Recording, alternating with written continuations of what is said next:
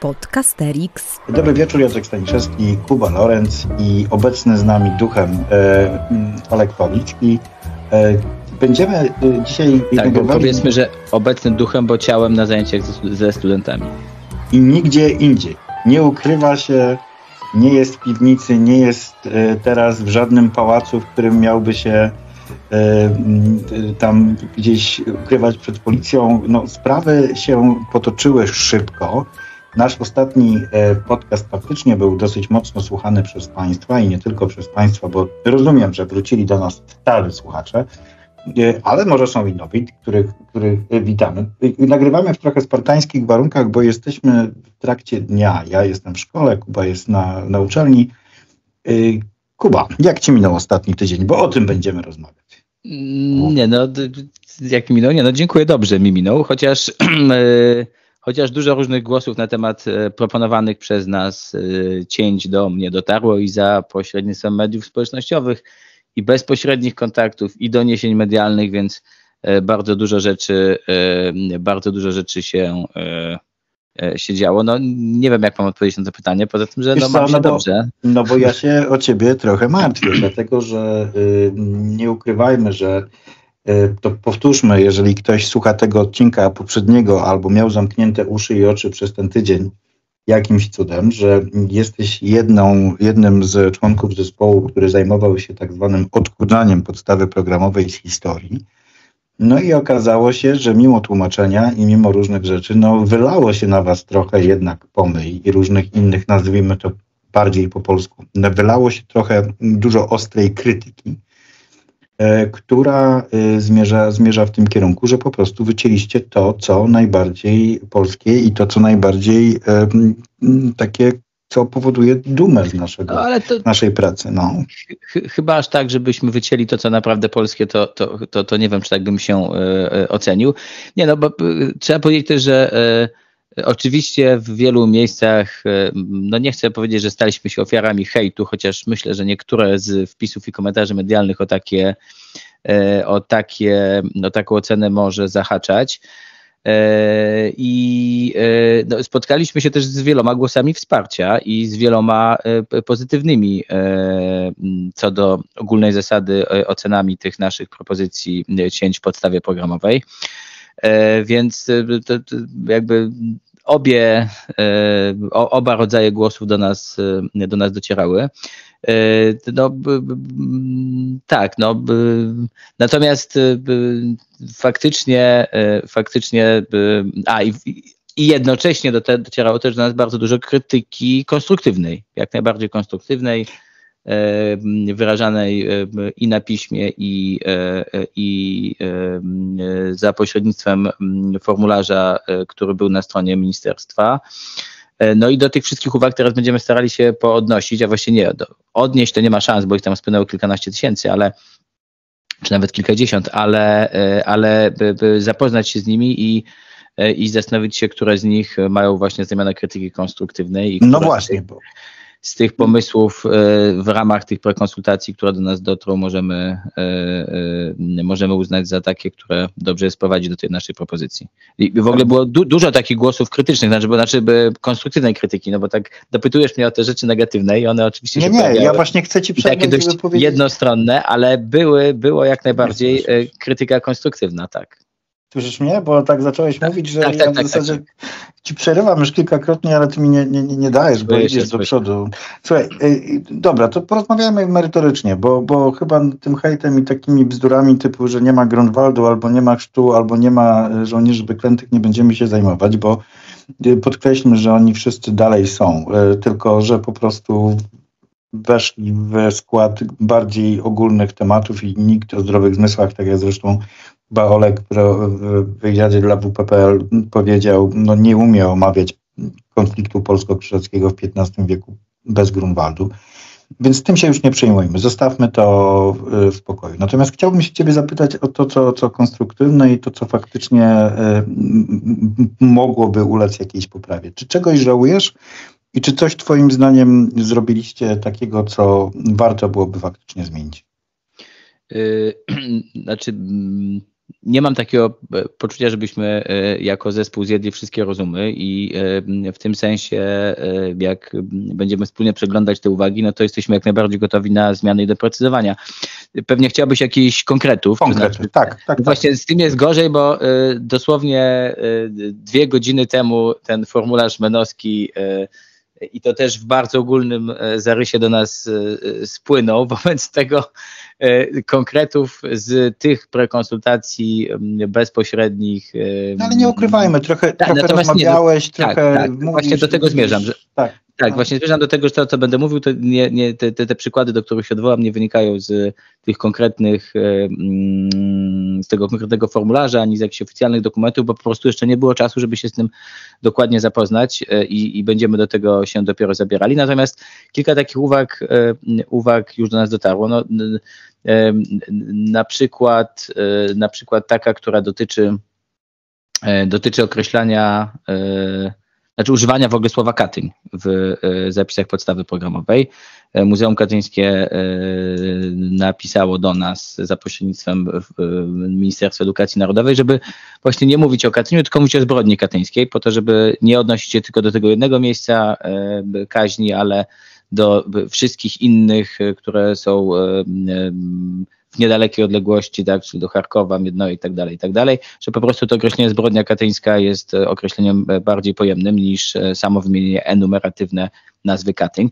No i to jak najbardziej, jak najbardziej zdaje się, że, że, że, że będziemy skłonni tego typu uwagi, tą uwagę konkretnie wpisać. No właśnie z tych samych powodów, dla których zdecydowaliśmy się nie pisać o, e, o rzezi, a nie ludobójstwie e, wołyńskim, tylko, tylko relacjach polsko-ukraińskich, po to, żeby e, zapewnić możliwie szerokie spektrum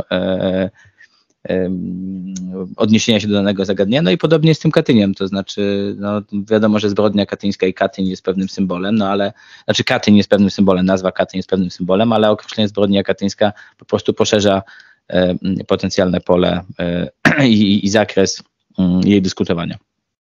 A wróciło ludobójstwo?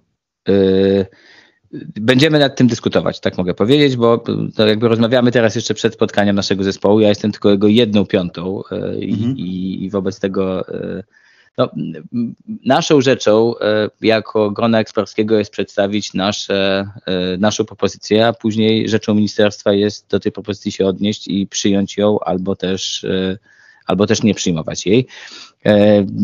Więc w tej konkretnej kwestii nie dyskutowaliśmy jeszcze, więc nie wiem, jak pozostała część zespołu się do tego ma, mhm. więc nie chciałbym tutaj mówić, że tak, tak, zmienimy albo nie, nie, nigdy no bo to jest decyzja nasza wspólna zespołowa, więc, e, więc tak. Szukam teraz szybko w głowie jeszcze, e, jeszcze innych uwag. No na przykład mieliśmy mm, spotkanie zdalne z Polskim Towarzystwem Historycznym i z jego sekcją dydaktyczną. No, spotkanie bardzo konstruktywne. Było sporo głosów doceniających naszą pracę, sporo głosów krytycznych odnośnie tego, jakie podjęliśmy decyzje, ale ale co do głównego kierunku zmian i co do głównego e, ich charakteru i naszego, e, naszego punktu e, wyjścia do wprowadzenia tych zmian, tego, który znalazł się w tym dokumencie dostępnym na stronie ministerstwa, czyli w uzasadnieniu zmian, to Polskie Towarzystwo Historyczne tutaj jakichś uwag większych nie miało. No ale na przykład punktowało nam miejscami jakiś brak konsekwencji tego, że, że jeszcze jakieś elementy w imię likwidowania tych e, e, doprecyzowań i uszczegółowień powinniśmy jeszcze kilka rzeczy uciąć. No tak, więc... Dobrze. Kuba, to ja teraz chciałbym jakby zakończyć blok mówienia właśnie o tym, co weszło, co nie weszło i co dobrze się, i, i, i jeżeli, i, czy to się dobrze stało, czy źle. Natomiast chciałbym poruszyć jeszcze dwa tematy. Pierwszy to y, taki... Czułeś się, jakbyś ze mną robił wywiad w ogóle. Podcasterix. Na, nagrywamy, nagrywamy ten podcast już prawie dwóch i pół lat. Mamy, to jest nasz 80. odcinek. Um, yy, no, gadamy różne rzeczy, pewnie czasami ostrzejsze niż to wszystko, co się okazało w tym, w tym dokumencie. Natomiast po dostałeś teraz dosyć mocno. Czytałem, ale ja w ogóle malutko dostałem. Znaczy, no, no, No wiem, no dzisiaj pan były premier y, no, raczył wymienić nazwisko naszego współpodcasterixowego y, y, kolegę Olka, pewnie nie w najlepszym świetle. Twoje, o tobie też czytałem różne ciekawe. Czy ktoś się czepiał twojego nazwiska, na przykład, że nie jest polski albo coś takiego? Nie, mojego nie, ale inni członkowie zespołu dostali tego typu maile. No właśnie. No więc y, naprawdę, znaczy powiedziałeś tak dosyć mocno, że... Tak, że, dziwne, że, że ja nie dostałem w sumie. No, jesteś absolutnie na prosty strzał. Szkoda tylko, że twoje nazwisko kończy się na C, a nie na TZ. Byłoby przynajmniej jasne, no ale rozumiem, że się, że się tam ukrywacie w tej waszej opcji. E, natomiast e, chcę się ciebie zapytać naprawdę, nie żałujesz tego, że się w to wszystko włączyłeś? Czy, czy, czy przecież mm, jakby... Nie, w ogóle mieliśmy po co wczoraj to takie... było? Hmm.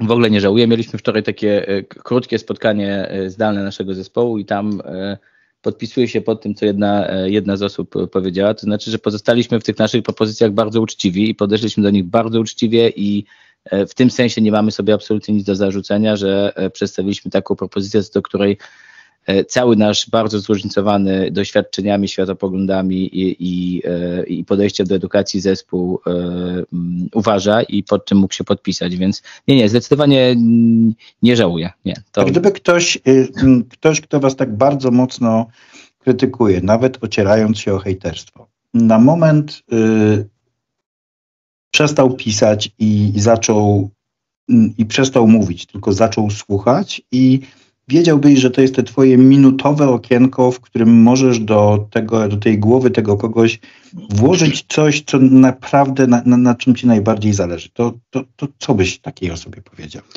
No ja bym powiedział takiej osobie dwie chyba rzeczy. Po pierwsze to, że podstawę programową ma zrealizować nauczyciel.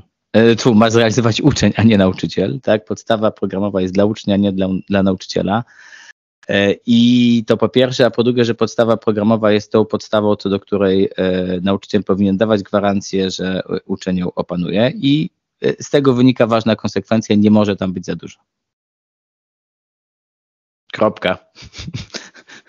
Trochę jestem zaskoczony tym, co powiedziałeś tej osobie, to znaczy zwłaszcza... zwłaszcza Techniczne rzeczy, bo w, w, ogóle, no. w ogóle mam takie wrażenie i to zresztą wybrzmiało też w kilku komentarzach, że te nasze zmiany mają przede wszystkim, znaczy one są oczywiście, podlegają krytyce takiej ideowej czy ideologicznej, ale one mają przede wszystkim wymiar pragmatyczny. To znaczy mhm. za tymi naszymi propozycjami, nie, nie ma co ukrywać, każdy z nas ma jakąś wizję przeszłości, wizję edukacji, E, wizję naszej wspólnoty i wizję patriotyzmu, ale i, i one z pewnością, e, mm, z pewnością w jakiś sposób e, znalazły odbicie w tych naszych cięciach, no ale to było pięć różnych wizji wspólnoty, przeszłości, lekcji historii itd., tak itd. Tak Więc one, to, co tam jest, jest jakoś wypadkowo naszego zespołu, natomiast mm, te zmiany miały charakter przede wszystkim, mam wrażenie, pragmatyczny i, i uspo, uspajniający. E, no i ten, ten pragmatyzm jakoś nie znajduje posłuchu. To znaczy, wydaje mi się, że, że, mm, że, że to nie, nie przemawia do tych, którzy, mm, którzy krytykują ten, te, te, te propozycje zmian. E, a no tak jak mówię, wydaje mi się, że przede wszystkim te zmiany mają charakter pragmatyczny. Znaczy, one e, odnoszą się do tego, co jest nauczyciel w krótkim czasie 45-minutowym w ciągu e, niespełna 9 e, e, lat edukacji historycznej, z właściwie niespełna 8 lat edukacji historycznej zrobić z uczniami. Więc to było dla mnie jakieś zaskoczenie, że te argumenty pragmatyczne się w ogóle nie przebijają. Ja y, dzisiaj, y, bo mi coś tutaj gra, nie chciałbym, żeby coś mi grało. Ja nic nie słyszę, więc zakładam, a. że nasi słuchacze też nie. Dobrze, to, y to powiem Ci. A, a słuchaj, a może ty powiesz w ogóle, jak to wyglądało z twojej strony, osoby, która e, siedziała na kanapie, mam nadzieję, że nam kibicowała, ale coś tam do niej jednak docierało. No ja się o was martwiłem przede wszystkim. Naprawdę autentycznie się martwiłem, bo y, kiedyś byłem w podobnej sytuacji i to nie jest y, miła sytuacja, kiedy się po raz pierwszy człowiek spotyka z takim, e, takim hejtem albo taką, taką krytyką, którą trudno nazwać za mm, konstruktywną i która bardzo mocno jest taka ad personam i która podważa twój profesjonalizm i twoje dobre chęci i twoje różne rzeczy. Więc to jest pierwsza rzecz, która, którą odpowiadam. Tak? Znaczy, takie autentyczne, ludzkie martwienie się czy jeszcze kiedykolwiek Cię zobaczę. To jest pierwsza rzecz. Druga rzecz jest taka, że ja do tego podchodzę bardzo na zimno. To znaczy, moim zdaniem, nie ma takiej możliwości, że dostaliście bardzo proste zadanie. Mówię tutaj, mówię tutaj proste, to znaczy mało skomplikowane, nie mówię o wykonaniu, a mówię o instrukcji. To znaczy takie zadanie polegające na tym, że ma być bardziej chudo. E, I kiedy tak, tak, ale też nie można nic dodawać, więc trochę dali wam nożyczki, ale nie dali wam kleju. I w tym momencie, y, w tym momencie, no, moim zdaniem, y, trzeźwo na to patrząc, nie ma takiej możliwości, żebyście zrobili coś, co wszystkim się e, spodoba, ponieważ y, no, cokolwiek wyrzucicie, to ja mm, jestem w stanie sobie wyobrazić zarzuty, że to jest święta rzecz, bez której nie można po prostu prowadzić e, dalej lekcji historii. To, co jest cały czas, moim zdaniem, i tego nie rozumiem, tego naprawdę nie rozumiem, jest cały czas e, dla mnie niejasne. Dlaczego w trakcie tej całej akcji, zwłaszcza z Wami e, i może z językiem polskim też związaną, to jest tłumaczenie, co to jest podstawa programowa i dlaczego to, że skreśla się słowo Kulturkampf, albo skreśla się chrzest polski, nie oznacza, że nie można o tym mówić.